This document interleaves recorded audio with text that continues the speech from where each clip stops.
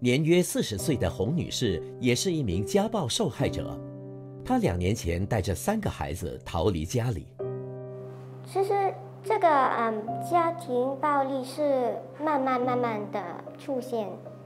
那时候是从婚外情很多次，然后我每一次也会原谅他，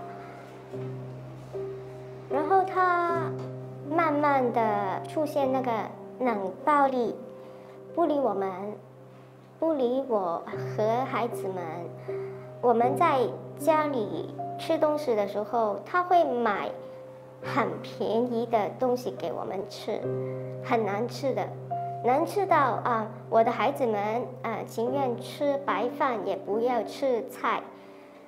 然后他自己呢就会啊吃很好吃的东西。在二零二零年啊月的时候，我回去香港，我妈妈过世，我我去她的葬礼。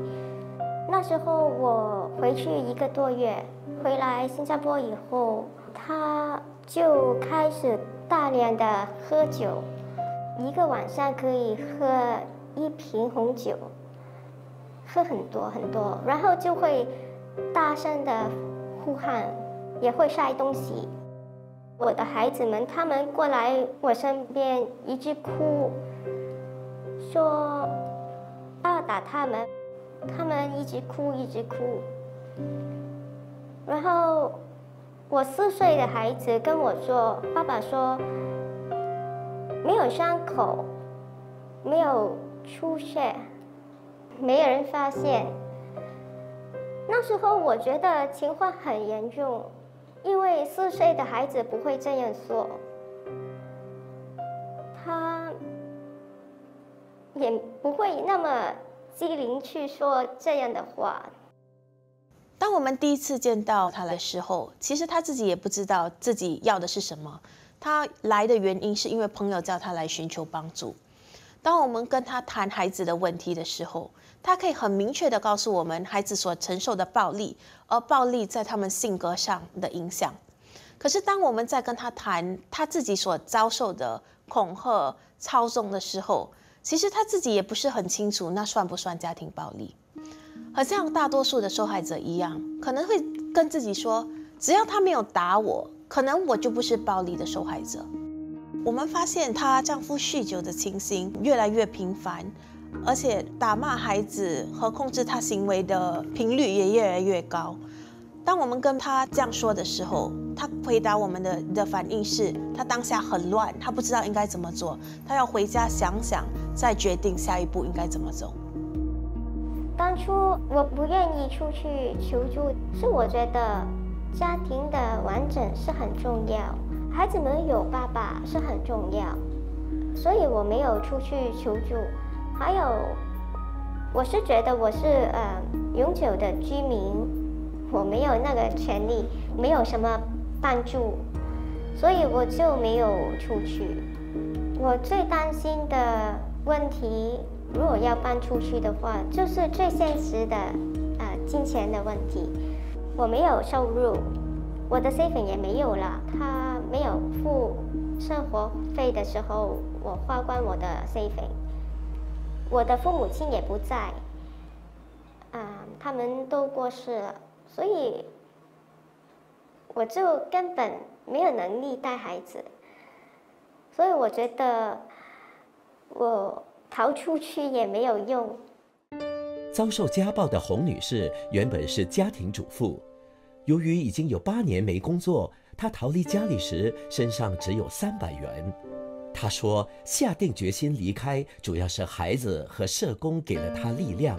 那时候我在家里想啊，很这个情况很很严重的时候，我就跟我的社工说，我我很怕，我决定要搬出去。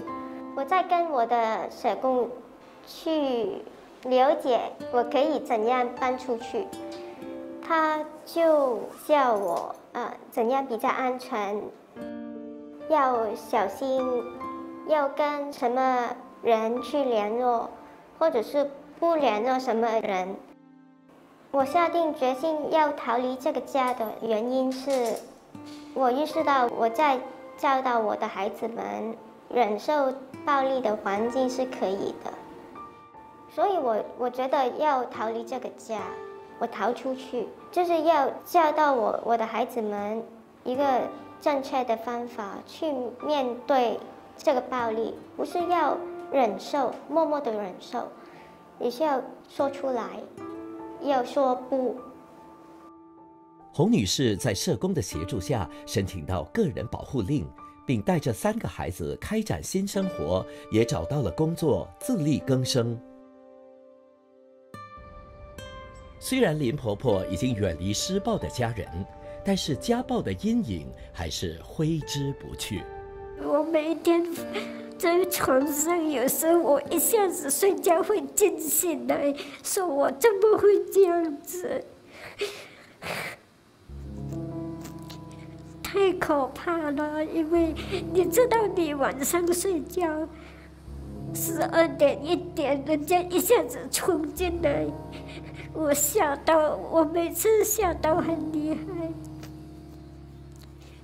有人问我你怕什么，我说我不知道我怕什么，我在梦中一下子吓，给人吓吓到醒来。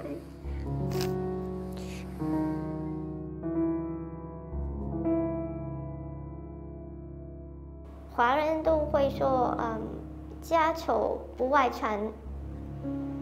可是不外传的话，就默默承受这个暴力，对我和小孩子们都不好，一点都不好，也没有阻止暴力继续严重下去。我愿意站出来说我的故事，是。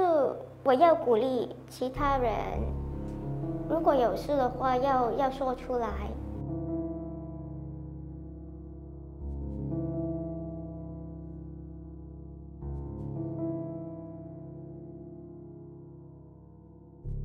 我们每一个人都可以为呃受家庭暴力的这些受害者，呃，可以可以给他们提供帮助。